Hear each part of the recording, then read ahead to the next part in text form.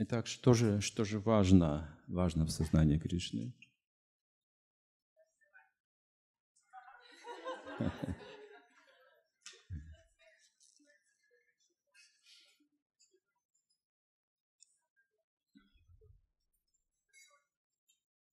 А, очень важно понять простоту а, движения сознания Кришны. С одной стороны, это очень просто. И с другой стороны, это чрезвычайно возвышенно, недоступно.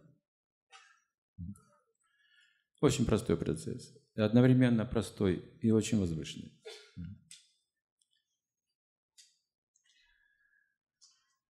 Простота сознания Кришны. Самые возвышенные, недоступные истины скрыты ведами. Скрыты материальной природой, гунами, скрыты добротой мирской, скрыты осознанием духа даже за пределами Брамаджоти, духовного излучения, который держит, поддержит все и вся. И передается только единственным способом. Это нельзя придумать, нельзя увидеть непосредственно этими глазами. Нет таких органов восприятия и способностей человеческих. Это передается исключительно по звуку. С одной стороны, Хари Кришна Махамантра как будто те же самые звуки – мы можем слышать их ушами также. И тени в этих звуках сокрыта высочайшая истина по звуку. Когда Шилпраду спросили, а кто такой гуру? Ну, какой-то образ возникает. Ну, как правило, в западном мире это образ какого-то старца, седовласый, бородой, длинной одежды. Ну, что-то такое очень экзотический образ умудренные каким-то опытом, медитацией, мудростью, годами. Но Пропад ответил по-другому. Гуру – это вибрация, он сказал. Это звук, который исходит от духовного учителя. И вот в этом вся простота. Чтобы стать гуру, нужно просто повторять, что слышал духовный учитель. Вот и все. Это очень трудно. Есть склонность к измышлениям, к своим выводам и к своим понятиям. Таким образом, все усложняется в уме. Один ученик сказал, что Прабхупада, я, я не знаю, как проповедовать, я слушаю вас, столько знаний, но я не чувствую, что я могу так же проповедовать. Прабхупада сказал, это очень просто. Ты все усложнил? Позвал маленькую девочку, дочь преданного. Сказал, Малати, или как вы звали, повторяй за мной. Кришна – Верховная Личность Бога. Она Кришна – Верховная Личность Бога. Еще несколько фраз повторил. Говорит, очень просто. Очень просто. Читайте Бхагавадгиту, просто повторяйте ее. Очень просто. Но если мы хотим свои комментарии иметь, свои мнения иметь, это что-то другое, это уже материальное, это что-то уже материальное. Трансцендентный звук не нуждается в интерпретациях, улучшений, совершенствований или уменьшений. Шилапрапада сравнил это с работой почтальона. Вот давайте попытаемся понять, как просто все. И как чисто и прозрачно все в этой простоте. Почтальон. Может он принести перевод на тысячу долларов – но он не должен ни одного цента присвоить или добавить туда. Он просто почтальон. Это духовный учитель. Ничего не выдумывает из себя. Все сказано в Бхагавадгите. Если мы хотим понять, кто рассказал Бхагавадгиту, обратитесь к Бхагавадгите. Там написано, кто рассказал Бхагавадгиту. Кто первый услышал, обратитесь к Бхагавадгите. Там написано, не Арджуна первый услышал. А Бог Солнце Вивасван. Ум взрывается у современного человека. Бог Солнце Вивасван. Что у Солнца есть, оказывается, Бог еще. У него куча проблем в уме. То есть наши современные ученые разрушили все представление о живом мире. Они говорят нам о мире мертвом.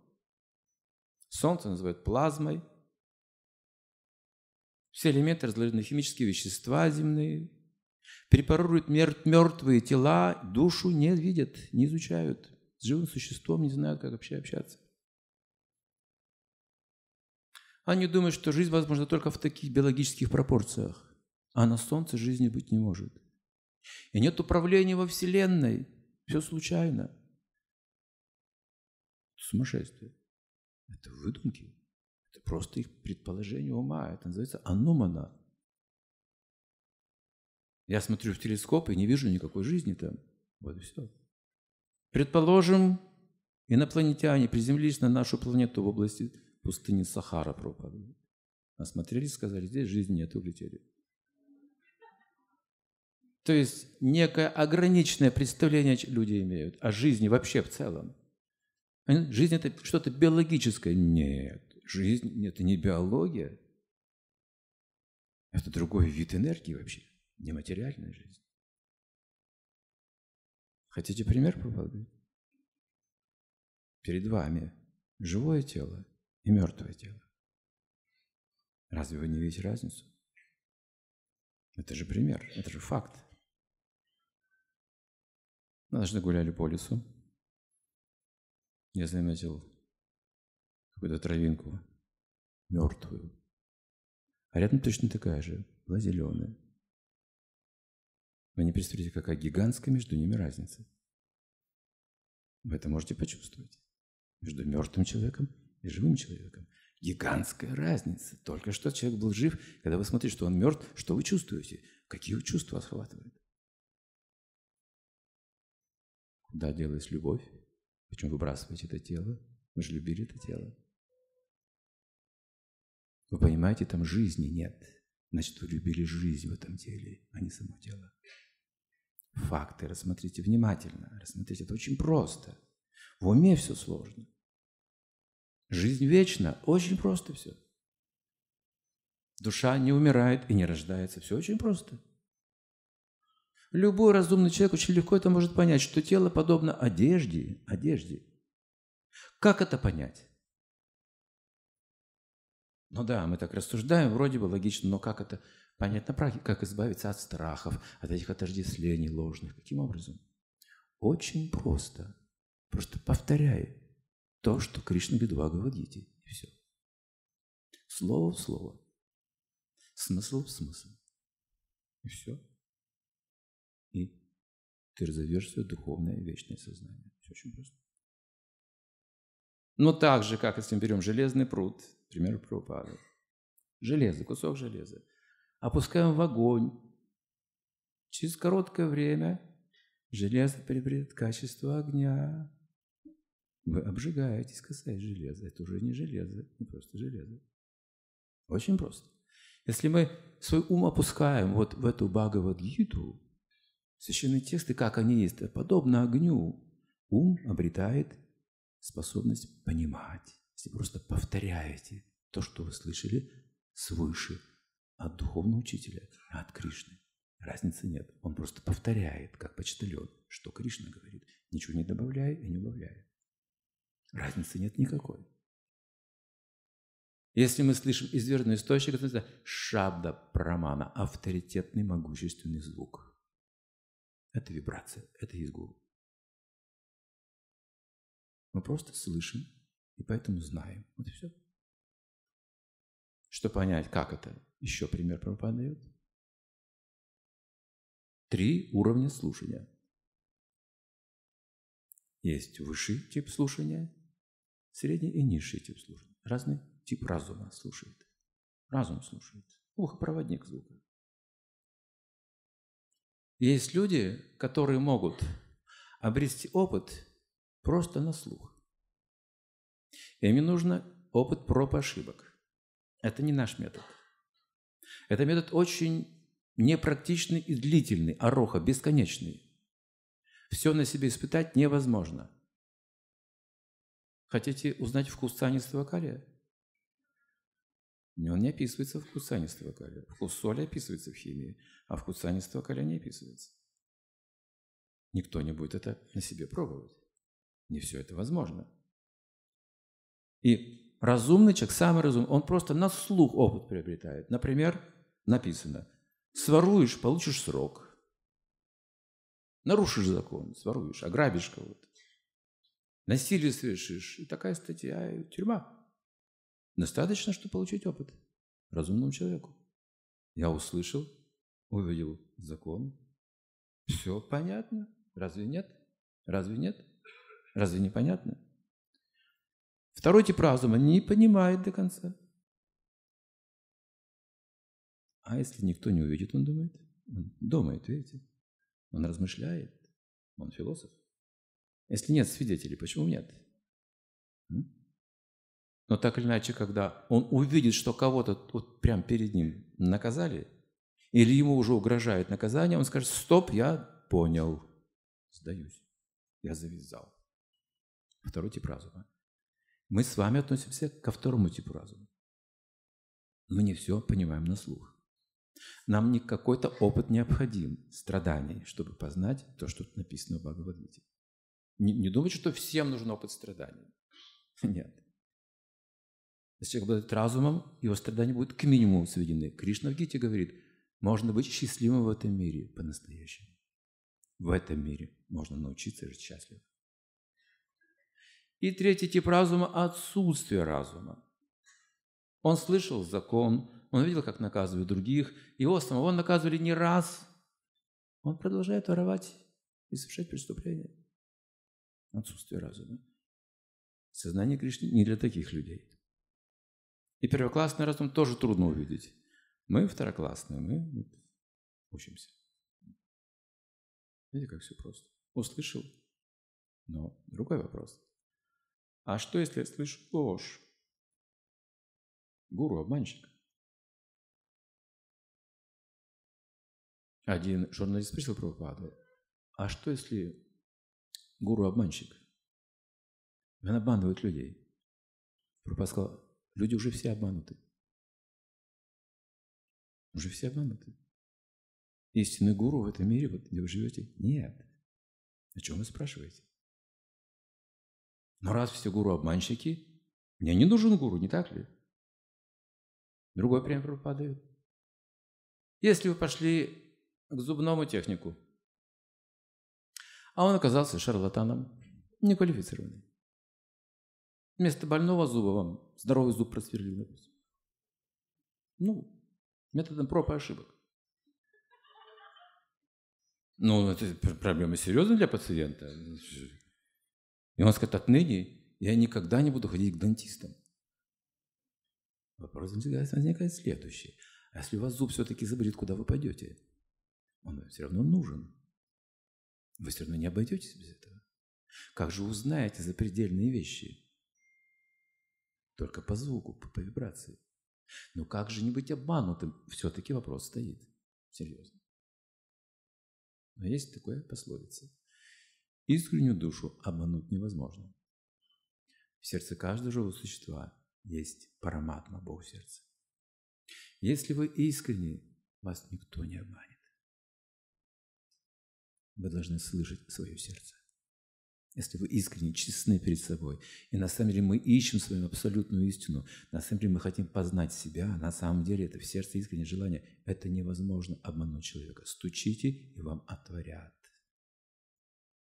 Ищите и найдете, говорится, обязательно найдете. То же самое написано в Ведах. Никогда ни при каких обстоятельствах не прекращайте поиски абсолютной истины. Ни при каких обстоятельствах, плохо ли, хорошо ли жизнь складывается, не прекращайте. И вы найдете ее. Не в этом мире, а за пределами этого мира, за пределами ума, за пределами чувств, за пределами материальных элементов есть абсолют, пронизывающий все сущее называется сущее, сад. То есть само существование.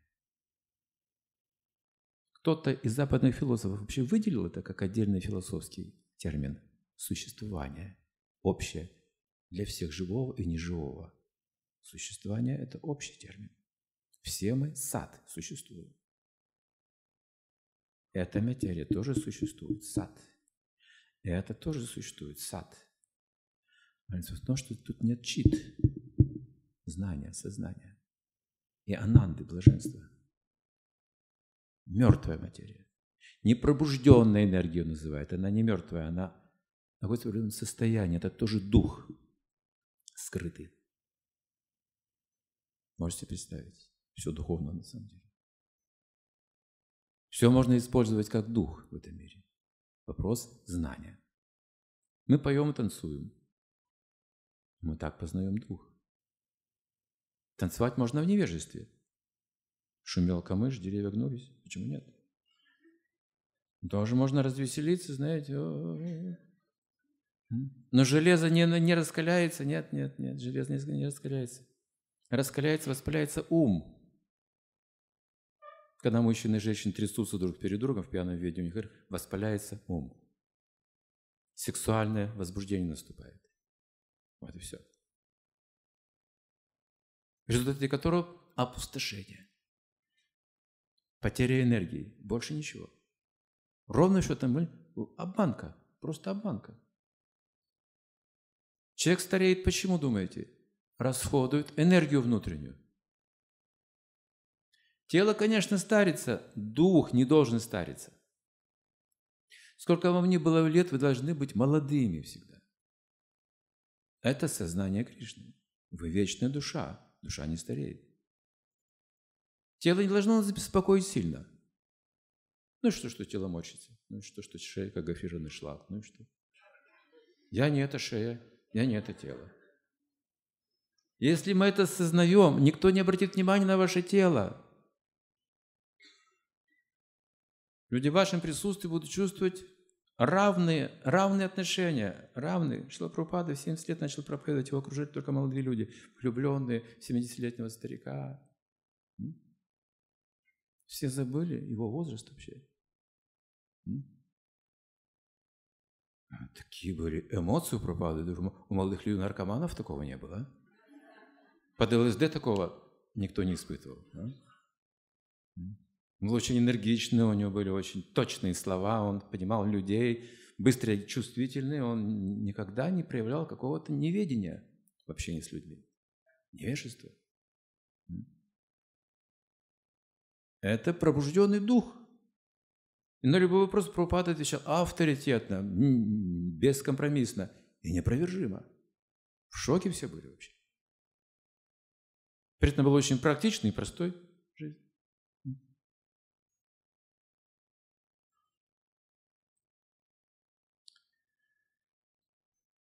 Ребенок может проповедовать, видите? Мужчины могут проповедовать, если не боятся, конечно. Женщины могут проповедовать. Они не боятся уже, с ними все ясно. Женщины вообще никого не боятся. Современные. Эмансипированная женщина – это у мужчины боятся, и женщины никого не боятся. Вот надо вот эту эмансипированную часть занять в проповеди сознания Кришны чтобы защитить вот эту часть от опасности вообще. Это получается на самом деле. Сейчас женщины очень активно проповедуют. Я сам не ожидал такого. И не планировал, честно говоря. Целая армия женщин проповедует по всему миру. Мужчины ждут, когда наступит их время.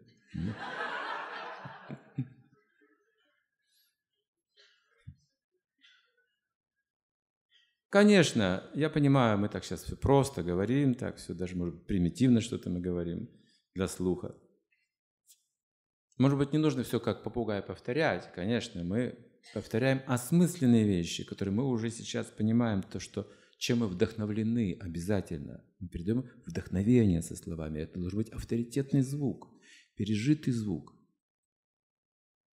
И просто механические повторения – но если мы механически мантру повторяем, это тоже принесет результат. Эмоции пробудятся, безусловно. Если мы даже просто пытаемся говорить об этом. Но Чему мы сегодня удивлены, если мы читаем книги Прабхупады? Например, кто-то удивляется, что душа вот тут описывается, что она вечная, тело как одежда, изнашивается, мы меняем на новое тело, реинкарнация. Кого-то это может заинтересовать. Меня спрашивали, знаете, в Узбекистане из института ислама приходили студенты. Люди очень, знаете, сдержанные, высокая культура, их, у них хорошее воспитание, исламский университет, культура отношений мужчины и женщины, вообще культура речи, обращения к старшим, то есть у них удивительно, они приходят в храм, как экскурсии, чтобы пообщаться вот с преданными, узнать эту традицию с большим уважением. И что их интересует сегодня больше всего, когда они задают вопросы? Как они задают вопросы? Там у них есть старшие группы всегда, их преподаватель с ними приходит. Они напрямую, никто из студентов ко мне не обращается. Обращается к старшему, говорит, можно я задам вопрос? Когда старший спрашивает, какой вопрос? Обращается, говорит, можно такой вопрос? Говорю, можно. Он спрашивает этот вопрос. Их всех интересовал один вопрос. Реинкарнация. Где это описано? Потому что не во всех писаниях мы находим это. А это важно, подтверждение Писания важно. И мы находим подтверждение только Писания. Во всех. В шоке люди становятся. Оказывается, есть подтверждение всех Писаний, может быть, не так подробно, как в Ведах, обязательно есть. Даже в Одиссее, даже в Илиаде есть, в Бхагавадгите есть, в Евангелии можно найти несколько мест, указывающих на это. Во всех Писаниях, Библии и все остальное. И в Коране там на нее даже суру прям ссылали на эту тему. Они просто в шоке. Знаете, они чувствуют вдохновение, что они что-то еще узнали вообще в душе. Это бесконечный процесс. Вы думаете, то это исчерпывается реинкарнацией и кармой? О-хо-хо-хо-хо-хо. Так это океан перед нами, дорогие мои. Океан блаженства и знания и вечности. Вот где душа находится на самом деле. Это такая тайна, такой захватывающий процесс сознания Кришны. Чем дальше мы продвигаемся, тем становится все более интересно, все более захватывающе, все более экстатично. Как можно описать духовное тело или духовную энергию? Ну, она описывается нам трудно понять. Кришна улыбается. Бог улыбается. Что же за улыбка у Бога? Его близкие преданные гопи, видя улыбку Кришны, тоже улыбаются. Когда Кришна видит улыбку, он еще больше радуется и улыбается шире. Гопи, это что, Кришна еще шире улыбается? Они еще шире улыбаются. Кришна, что гопи уже очень широко улыбаются, еще шире улыбаются. И так до сих пор продолжается, представьте себе. Что за щеки у Кришны такие? У нас же физиологизм, физиологизм в голове. Щеки не могут расти. Улыбка может быть бесконечной. Щеки тут ни при чем вообще. Наши щеки, я имею в виду. Почему мы на свои щеки ссылаемся, когда говорим об улыбке Кришны? Или он может вот так вот рукой держать все творение, а где эта рука? Что за рука у Господа? Есть рука, но не такая, как у нас. При этом он держит все творение и занимается своими делами прям свободно. Вы так умеете? Вот эти атланты, знаете, они там держат этот Эрмитаж. Уже давно, понимаете? У них проблемы вообще, у них там каждый мускул напряжен, они ничего не могут сделать вообще, даже руку оторвать не могут оттуда, понимаете? Кришна не такой атлант. Он все поддерживает и при этом абсолютно независимо свободен. Он там танцует. И... Как он управляется? Очиньте, Бог непостижим, поймите, нельзя его в рамки нашего разума поставить. Он непостижим, он может делать все, что угодно, сколько угодно и когда угодно, в прошлом, настоящем, будущем, где угодно. Он управляет всем этим временем и энергиями. Это его энергии. И мы с вами его собственность. Каждое живое существо принадлежит ему, его частичка. Неотъемлемая и вечная частичка. Вот это нужно просто вспомнить. Как? Просто повторять. Амнезию лечит именно таким образом. Нужно просто повторять. Это человек амнезии, ему говорят, ты помнишь? Ничего не помню. Ну как же вот, твой друг, его звали там Ваня, помнишь? Нет, не помню. Ну как же не помнишь? Вы еще с ним ходили туда, делали то а потом... Вот он такой, такой, такой, он постепенно слушает, слушает, повторяет, повторяет, и память к нему постепенно возвращается. Смотрите, что-то в этом есть. Погодите, погодите, что-то, что-то, как будто сквозь сон начинаешь что-то воспринимать. Это моя иллюзия в этом теле. Я мужчина, я женщина, русский, американец, индус. Вот это вот очень мощная обусловленность. Но если мы слушаем и повторяем, что из вечности исходит, постепенно мы начинаем пробуждаться. Что-то в этом есть. Я, похоже, не это тело. Начинаю чувствовать это, как пробуждение. Еще ничего не вижу, но начинаю ощущать. Подобно тому, как человек спит в холодной комнате – Холодно ему, но он спит, он не понимает причину его беспокойства, что, что просто холодно. И он скрючивается, но вот спит в таком состоянии, внутри он во сне немножко страдает, ему что-то снится недоброе. И он не понимает причины своего страдания, что он во сне. Приходит другой человек, который не спит, туда видит, о, как холодно, этот человек тут лежит, он мерзнет. И зажигает камин, накрывает его одеялом. И человек ничего не знает ни о камине, ни о человеке, еще не о одеяле, но ему уже хорошо, он распрямляется. Это начало того, что мы начинаем что-то воспринимать, ощущать. Нам становится хорошо, воспевая Хари Кришна мантру, принимая просад, слушая вот эти небылицы. А хорошие небылицы, а? Я в них вообще не верю, но интересно. Не верю ни одному слову, что тут написано. Потрясающе. Что-то в этом есть, понимаете? Я еще вот не могу принять это вот сразу, потому что я вообще-то русский, а не индус, понимаете? У меня нос, видите, не как индус. Нет. И цвет кожи, видите, я другой расе принадлежу. Это майя. Это майя. Тело износится, как одежда, сбросишь, получаешь другое тело. Какое? О каком подумаешь? Если вы умираете и думаете, не хочу быть индусом, станьте индусом. Ну что, подумайте об индусе, и все. Родитесь индусом, скажете, не хочу быть русским. Ну что это? Что за жизнь? А? Мы уже родились, разве это не факт? Ну что, почему не верите? Мы уже родились, мы уже получили тело. Откуда мы это тело получили? От родителей, что ли? А родители откуда знали, какое это тело будет? Они понятия не имели, что за, кто родится, какой выродок вообще. Так иногда называли нас, не так ли? Что за выродок вообще такой родился? Мы такого не планировали вообще. Какие-то законы над нами вот все это управляют, и мы тут рождаемся и думаем, мы тут господа. Управляем миром вообще. Доуправлялись, наконец. Доуправлялись до биологических войн и прочее до самоуничтожения, а это очень близко на самом деле. И другого выхода, как сознание Кришны, у людей сейчас нет. Как обратиться к духовным знаниям. Нет другого выхода. Нет?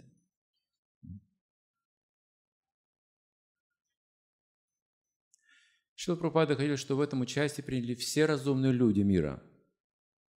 Как понимают? Вот те ценности, чем вдохновлены, распространяйте их. Чего-то не знаете, не говорите. Или говорите, не знаю еще, да. Но то, что вы знаете, то, что вы уже поняли за эти дни в Святой Дхаме, вы должны помнить, там ни у кого и крупицы таких знаний нет. Вы уже можете огромную пользу приносить людям. Проповедуем, что такое освященная пища, что такое тело и душа, что такое священные книги, что такое вообще знание, что такое гуны природы, что такое время, что такое сверхдуша. Смотрите, сколько всего. Сколько всего мы узнаем. И передавая это послание, просто повторяя, что говорят Ачари, наши духовные учителя, мы обретаем это сокровище в сердце, оно раскрывается. Это дар Божий. Это просто Божий дар.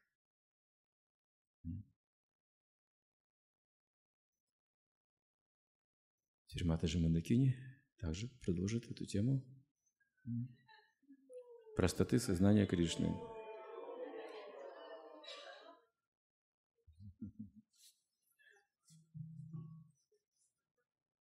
Mm-hmm.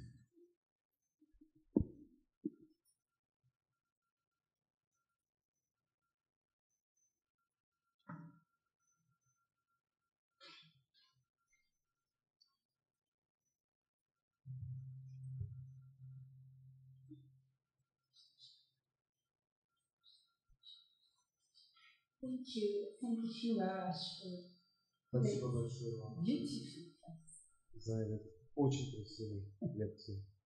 Yes. Uh, Shiva Prabhupada used to say that Krishna consciousness is very simple uh, for the simple. Шила Прабхупада говорил, что сознание Кришны, оно очень простое для тех, кто сам прост. and very difficult if one has a very difficult mind. И сложно для тех, у кого сложный ум.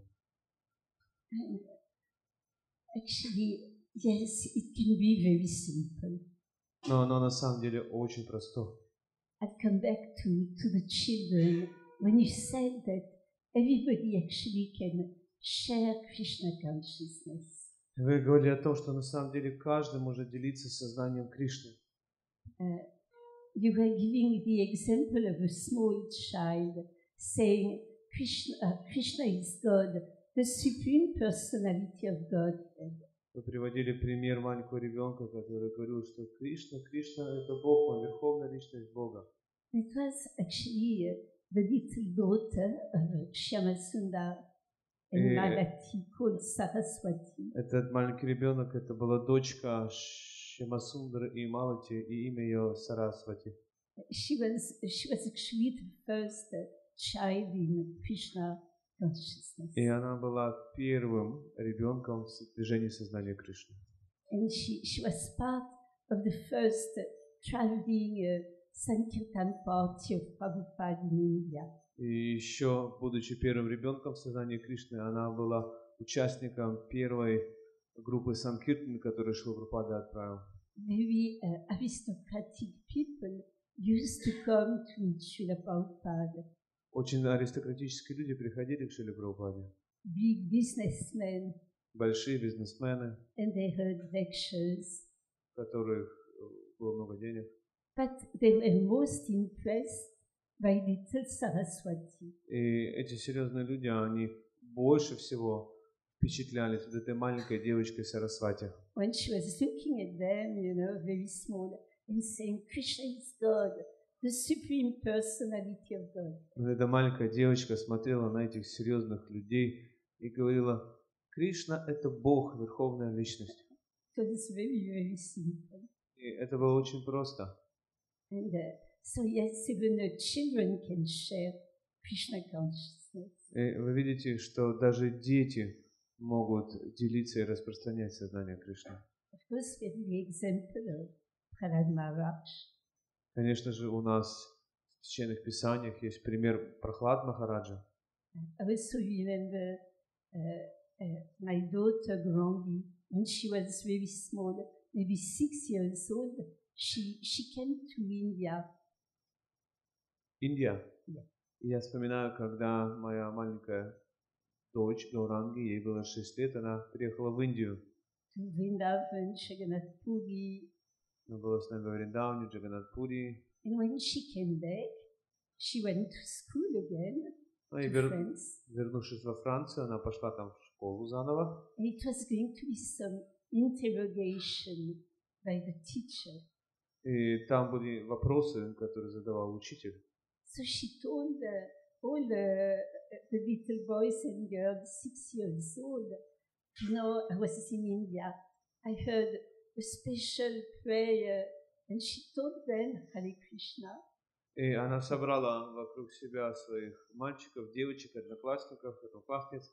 И сказала, знаете, я побывала в Индии, и там услышала о одной очень особенной молитве. И это молитва Хари Кришна. And if you say that uh, Hare Krishna song, all of us we will get very good notes, И, и если good what? notes, marks, И если все мы вместе будем петь эту песенку Хари Кришна, то нам всем поставят хорошие оценки. And she told, don't tell anything to your parents. И, а, Don't say и, anything. конечно же, она предупредила, ничего не говорите своим родителям. So all the children, they chanted Hare Krishna at home. И все детки начали повторять Хари Кришна. But, but then they, they couldn't keep the secret. Но, конечно же, не могли удержать это в секрете. So next day, all the parents starting uh, calling me. И после этого дети, э, родители детей начали обращаться. What is it? Is it a sect? И что это такое? Это секта? I said, no, no, it's, we just came from India. Я стал отвечать, нет, ну мы вот только из Индии приехали. So children can, can share uh, Krishna consciousness in their own way. И дети могут делиться сознанием Кришны по-своему. And you, you mentioned uh, the ladies in Krishna consciousness. И вы также упомянули женщин в сознании Кришны. Srila Prabhupada said they are our secret weapon. Шила Прабхупада называл их нашим секретным оружием. So, so everybody, all of us, we, we can, men, women, uh, simple people, in, scholarly people, intelligent people, uh, we can all share, you know, the, the message of Lord Chaitanya. Все мы, взрослые, маленькие, женщины, мужчины, образованные, необразованные, все мы можем с вами делиться посланием сознания Кришны.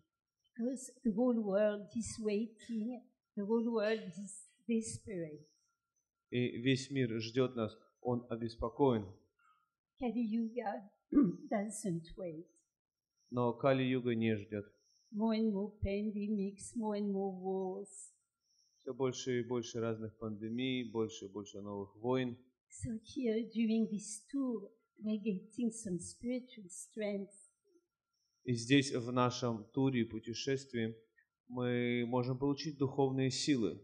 So when we go back to our daily life, uh, we should use that spiritual strength to share it with others. Когда мы вернемся к нашей повседневной жизни, мы должны воспользоваться этой силой, которую вы получаете в нашем туре, чтобы делиться ей с своими близкими и вашим окружением. And uh, it's it can be very easy even if we feel we, we don't know much of the philosophy. We can just share what we have learned, what we've realized. И для того, чтобы вам было проще, вам не обязательно делиться какой-то сложной философией. Вы можете просто рассказывать то, что вы сами уже поняли или сами слышали.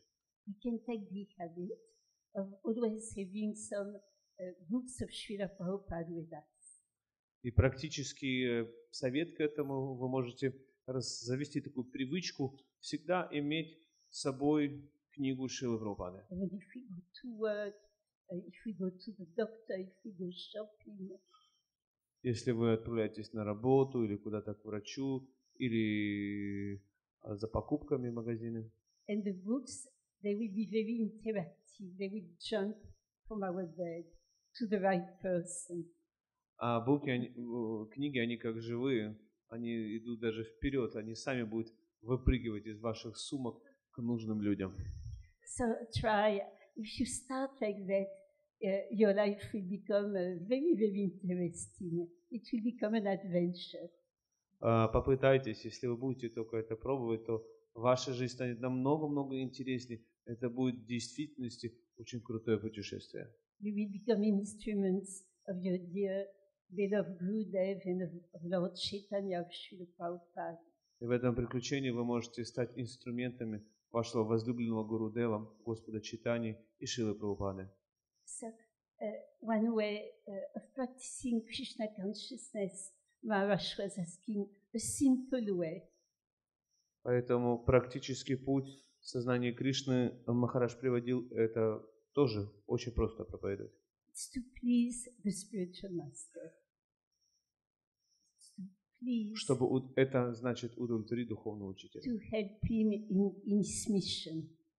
помогать ему его миссии. So it's very simple and it can make you very, very spiritually happy. И это очень просто, и это может делать вас очень сильно радостными в духовной жизни. And uh, we can all do that. And next time we meet, we will exchange how our life has changed like that. И если мы будем это практиковать, мы увидим, что наша жизнь поменяется в лучшую сторону.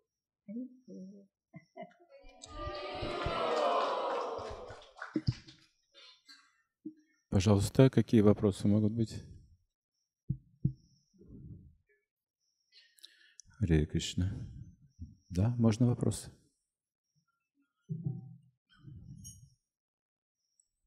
Хари Кришна.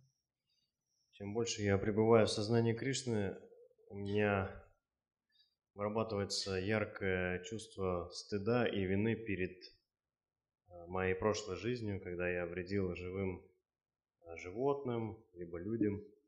И есть ли у меня хоть малейший шанс на искупление вины, либо прощение? Спасибо. Да, я думаю, что у каждого из нас есть такие моменты жизни, которые вспоминать больно или стыдно. Какие-то ошибки совершали все. Никто не гарантирован от ошибок, ни один человек. Никто в этом мире не гарантирован от падения, Прабхупада сказал. И каждый может возвыситься, любой человек. То есть та наша жизнь была в невежестве. Сейчас жизнь в знании. И когда Джагай и Матхай, великие грешники, они были признаны Господом читаний, они встали на путь преданного служения. Им стало еще хуже жить, труднее. Они пришли к Нитянанде Прабу и с болью в сердце признались, что жизнь стала вообще невыносима в сознании Кришны. Потому что те люди, которые мы вредили в прошлом, кланяются нам, а некоторые плюются и бросают камнями. Но они же помнят наши грехи все. И мы помним, какие мы вообще святые. Нам невыносима эта жизнь стала в сознании Кришны. Что нам делать? Как нам освободиться от этих проблем? Лейтенант сказал, теперь вы должны служить тем людям, которым вы приносили вред. Нужно людей что-то сделать. А они собственными руками вытачивали камни большие и носили их. И сделали кхат на берегу Ганги. Удобное место, вот эти ступени выкладывали, чтобы люди могли принимать омовение там. Это очень ценный был труд. До сих пор этот кхат существует. Представьте, так на, на совесть сделали. И так постепенно через служение они освободились от этих самскар. Надо сосредоточиться не на прошлых своих грехах, а на преданном служении. Если даже мы грешные люди по-настоящему, если мы эту жизнь грешную отдадим Кришне, нам люди поставят золотой памятник. Странно, правда? Если вот эту плохую жизнь мы пойдем пожертвуем, и люди будут думать, это святой человек был. Это сила жертвы.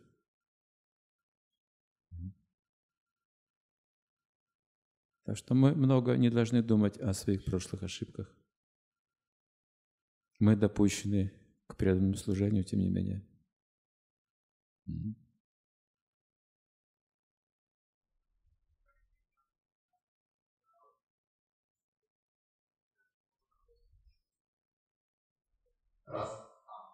Так, да-да. Харе, Харе Кришна, примите мои поклоны. А, ну вот от матушки Мандакини прозвучало, что проповедовать, а, вот я там проповедую там, семье, родственникам, близким, друзьям, просто иногда на улице знакомым и так далее. И замечаю такую штуку, как люди не хотят.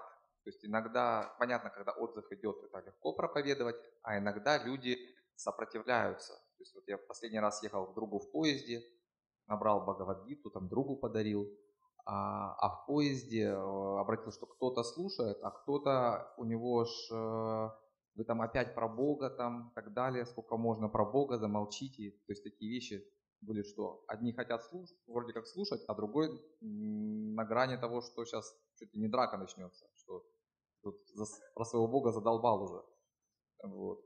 И э, а, причем было не то, что про Бога, было так, космология. Интересно было. То есть не нарушаем ли мы принцип вот этот ахимсы, когда вот, ну, человек хочет, вот э, душа родилась, хочет прожить в невежестве, хочет э, быть вот так, э, так существовать и так далее. Насколько вот эта вот грань, на которую можно э, перешагивать? Конечно, нарушаем принцип Ахимсы. Мы нарушаем его, да. Но это согласовано с волей Господа читания.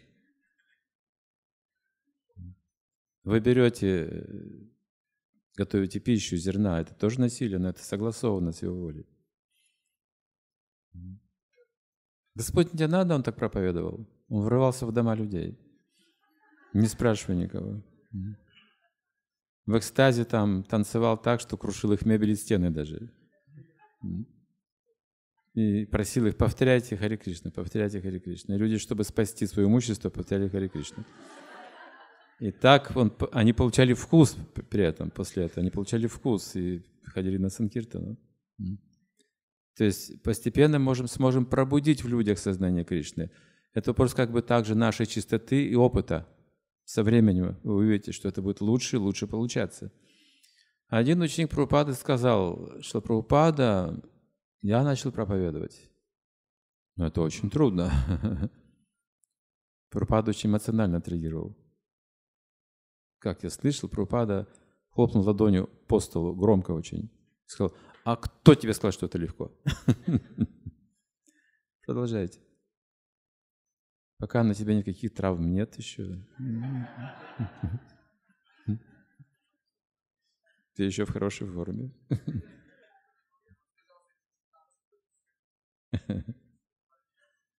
Соп, придет опыт так же, как, ну, Прабхупад говорит, что если вы идете говорить о Боге, ничего не бойтесь, никто вас не убьет. Вы под защитой находитесь. Какие-то люди против, но большинство людей будут защищать. Когда мы проповедовали на Невском проспекте в начале 90-х, в конце 80-х годов, это еще Советский Союз, разваливался, только расшатывался еще. Вся милиция была против. Мы проводили Харинаму, прямо там, где Казанский собор, Невский проспект. Люди собирались, и мы там рассказывали все, что знали из Бхагавадгиты.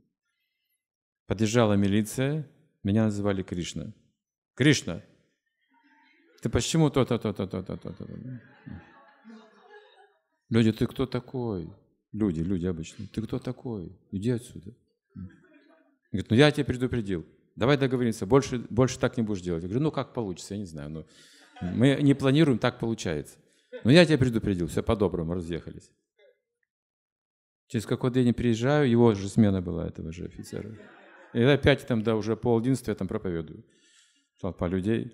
Он, Кришна, я же тебя предупреждал. Марш машину туда, в этот, милицейскую, знаете, за решетку туда. Меня закрыли там. А люди, значит, окружили этого милиционера, уже фуражку на лоб натянули, агрессивно так на него. Подошли к машине, давай ее раскачивать. Мы сейчас машину перевернем, выпусти его. Меня выпустил, испугался. Это только несколько случаев. Всегда так было. Мы проповедовали в более агрессивной среде, потому что а, в то время было а, время воинствующего атеизма. Слышали слово это, да? Это было, ну как, по правилам, воинствующий атеизм. Мы агрессивно разрушали веру в людях, религиозную веру. Это задача была образования вообще. Поэтому мы проповедовали в другом мире, более агрессивном мире. Но сегодня кто-то, ну, недоволен, там побурчит, ну, ну, что он еще сделает? Сейчас все больше и больше людей верующих становится. Скоро будет стыдно признаваться, что я атеист. Представьте себе такое время. Угу. Еще вопрос. У кого микрофон?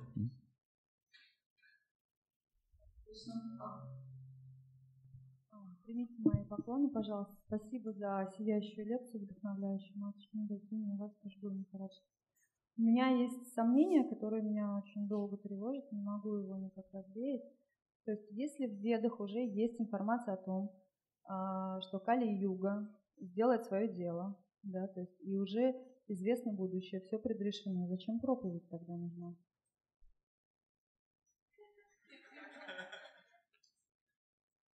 Хороший вопрос, хороший вопрос. Важный вопрос. То, что э, предопределено Богом, совершают разные типы людей, исполняют Его волю, разные типы людей. Один тип людей это делает осознанно, другие это делают неосознанно, но все служат Богу. Преданные служат Богу осознанно. Господь Читание говорит, в каждом городе, деревне будут воспевать святые имена, преданные говорит, мы это сделаем. Вот как это происходит. Они не думают, о, Господь Читание придет и сам все для нас сделает. Он как раз дает для нас это служение, чтобы мы могли этим путем вернуться к Богу. И благо, чтобы получили другие люди. То есть предсказания Бога исполняются ну, двумя типами людей. Божественными и демоническими. То есть демоны это делают неосознанно. Они чинят препятствия, не так ли? Почитайте Священное Писание. Всегда демоны чинят препятствия. И только таким образом усили, ускоряют этот процесс. Не ведая этого, они только ускоряют этот процесс. А преданные, они прямо просто проповедуют, исполняют, знают эту волю. Так все совершается, будущее исполняется.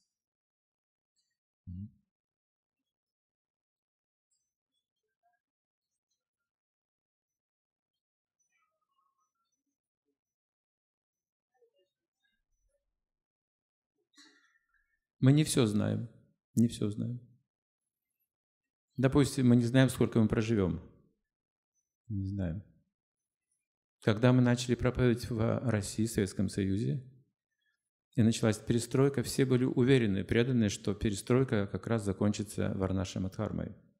Потому что мы проповедовали, распространили книги, то есть это имело сильное как бы, влияние на сознание людей. Но этого не случилось. Мы не все знаем, как это будет происходить.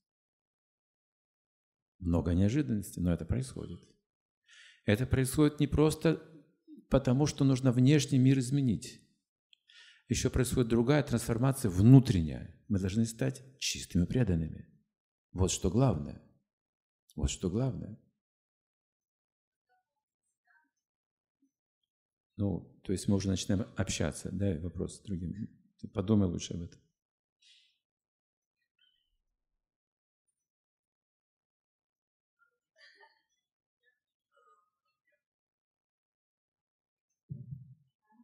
Спасибо. А, я новичок, ну то есть я первый раз на таком мероприятии. Я приехала за мужем, а, и у меня вопрос такой, а, ну как бы тема простоты прозвучала, и у меня вопрос такой возник.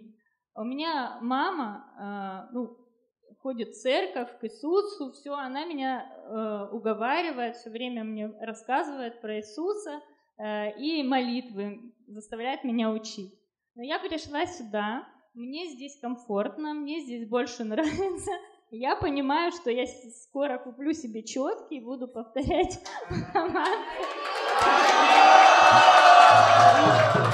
И вопрос в том, как мне, ну как бы слушая ваши лекции в интернете, я слышала о том, что нужно э, чтить э, свою мать и, и ну как бы ее слова, да, то есть э, воспринимать за правду, как мне здесь поступить, то есть слушать маму или примыкать к новому, ну, к новой вере, да, как, Ты будешь повторять Хари Кришна, это понятно уже, все поняли. Но не забывай Иисуса тоже. Мама ничего плохого не говорит, в Иисусе ничего плохого нет, это очень хорошо. Ну, то есть у меня в э, доме иконы, и, э, то есть это можно, чтобы было и то, и другое, да? Например... Если меня мама будет спрашивать, ты молилась сегодня перед сном, да? Читала молитву, которую, которую я с тобой учила. Как я ей могу сказать? Ну, прочитай, что тут сложного. ну, то есть я могу и то, и ну, другое, а почему да? нет? Все, спасибо. Я ничего сложного в этом не вижу. Я Иисуса узнал уже в сознании Кришны. Нам не говорили ничего про, про религию ни в школе, ни в семье. Я стал мантру повторять как йогу. Постепенно, когда я стал уже изучать Бхагавадгиту, углубляться в эту медитацию святых имен, я, стал, я осознал, что Бог существует, и после этого стал читать Евангелие. Только после этого. И ходил также во все православные храмы, вот эти старинные, потому что я еще как интересовался иконами, вот этим искусством. Получал очень глубокое впечатление. А потом мы поехали с женой в Иерусалим. Там я получил шокирующую самскару. И потом нашел аналоги в читании Чаритамрити очень много. Так что не ограничивайтесь ничем. Это все одна религия, один Бог.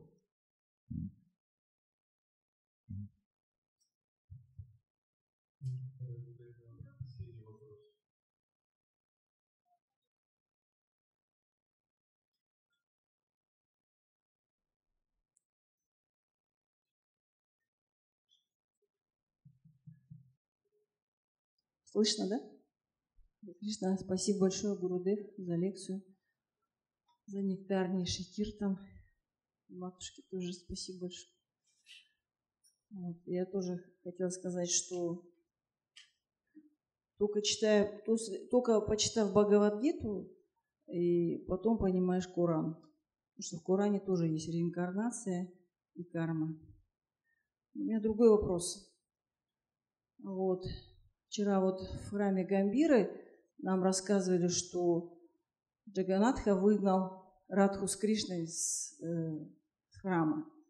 И вот до этого я тоже слышала, что если божества кормят, э, божества жалуются, что вот Джаганаты там стоят, они все съедают, нам ничего не достаются. Вот. Почему э, божества конфликтуют между собой? Это же один Кришна. Там Кришна, тут Кришна. Этого не покормили, того покормили. Вот там большие проблемы, да, я знаю. Нет, это же один Кришна. Почему вот э, такое происходит? Если вы любите какого-то человека, вы начинаете ему сознательно создавать проблемы. Почему? Ну, вот мальчики и девочки в школе учатся и начинают задираться. Почему? Такова природа игр. Бог играет. Кто это рассказал, эту историю? Девакинана, Вот, пусть отвечает. Это не я, это Кришначаран Махарадж. Что? Махарадж, который отвечает, он про божества рассказал местную историю. А, вот в чем дело. У них тоже проблемы, да? Не только у нас, у них полно проблем. Нет, у меня тоже вот просто был такой случай э, у нас. Э, один, одни преданные сдали э, квартиру другим преданным, и те пришли со своими божествами. Они кормили своих божеств, а тех божеств не кормили. Вот. И ну, вот хозяин квартиры говорит, а что вы моих божеств не кормите? И потом они говорят, ну, типа, один Кришна поел, хватит, а этим не обязательно. И потом они просто экономят деньги, я знаю. Нет, я еще не дорассказала. А потом...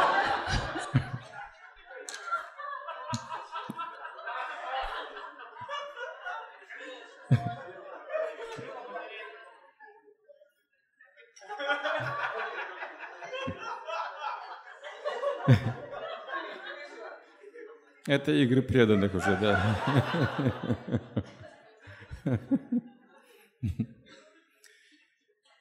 Хорошо. На сегодня мы закончим. Так, завтра у нас... Завтра у нас последний день паломничества здесь, так? Завтра какая программа у нас? Ари Кришна. Завтра у нас завершающий день, и утром мы хотим Маха Харинамой обойти. Мы начали с Харинама и еще раз обойти храм Джаганатхи. Я думаю, где-то так же. В начале седьмого мы выезжаем, и потом идем в дом Сарбам Батачари. Я бы хотел передать пожертвование еще э, Майпур Чандри Прабу, который вот этот храм восстановил, по сути, из развалин. Он очень правопады. Вот. Ему местные панды поручили это, попросили его, говорит, мы не справляемся, вот ты все-таки западный человек, ты знаешь, как все это делать, ты очень правопады, помоги нам. Он восстановил его, нашел художников, там все это, вот, все в развалины было. Дом с рабам в Батачаре, где Господь Читания показал шестирукую форму ему. Где они вот разговаривали на тему бхакти, он передал ему чисто преданное служение. Это очень важное место для нас. Срамон Батачарь – это великий ученый, он был, лично общался с царем Пратапарудра, из его дома идет подземный ход прямо в храм Джаганатхи, отдельный вход. Сейчас он не работает, там много змей, туда никто не ходит. Но ход, для него такой ход сделали подземный. Значительная личность. Он проповедовал манизм и персонализм. Великий был ученый. И Господь Читания сделал великим вайшнавом. Вот завтра пойдем в этот дом. И мой Пурчандр Прабу, он из Италии, из мафиози, из мафии. Он сбежал от наказания в Джаганатхапуре. Вот, и у него был просроченный паспорт, уже все тут. Он рассказал сам-то эту историю, к нам приходил и рассказал. Было очень смешно, конечно. С дочерью приехал. На него там жена подала в суд, что он дочь еще увез. Ему возвращаться было нельзя, тюрьма. Здесь просрочил паспорт, тоже тюрьма оказался между двух огней. Вот, и пришел к своему другу и сказал, все рассказал ему, так и так, у меня вот там такая ситуация, здесь такая ситуация. Да что ты хочешь? Говорит, ты хочешь остаться навсегда в Джаганатхапуре служить здесь Господу Джаганатхи. Он пошел к губернатору, этот его знакомый друг, а в Индии получить, знаете, визу, то есть вид на жительство даже, это очень сложно. Это почти невозможно сделать. И рассказал про Мэпручанру Прабу, что вот тут есть такой человек, он тут хочет остаться, вот у него тут с паспортом проблема, и там проблема. Губернатор так посмотрел, говорит, на него и сказал, а почему он хочет остаться в Джаганатхапуре? Вот ему говорит, а он любит Господа Джаганатху. Тот, когда услышал, взял печать, пшук, все. До сих пор живет, никаких проблем нет здесь. И вот ему поручают, он эти храмы восстанавливает успешно. Есть второй храм, где еще не был, он мне вчера сказал об этом. Абхирам Такур – это вечный спутник Господа читания. Абхирам Такур, если он кланялся э, чьим-то шалограмма шилом, если они были не авторитетны, эти камни взрывались вот так вот, от одного поклона. Если он кланялся какому-то чистому преданному, экстаз увеличился во много раз. Если он кланялся какому-то непреданному, могло разорваться сердце этого человека. Если он видел кого-то не в экстазе на кирте, у него была палка, бил палкой. И экстаз. Он был, он был такой личностью. Он был совершенно духовным человеком. И вот э, он восстановил сейчас храм, где его изначальная мурти установлена, этого Пирам Такура. Но мы туда, наверное, не успеем прийти, я думаю, завтра. Может быть, кто-то успеет прийти, посмотрим. Но в а, дом Сарамбаба Дачари мы, конечно, по плану завтра придем. Хорошо. А отъезд то сколько у нас? Вечером в 5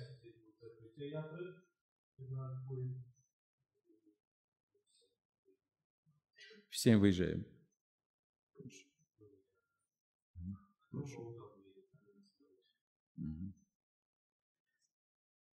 Хари Кришна, до завтра. Шила Прабхупада ки джай.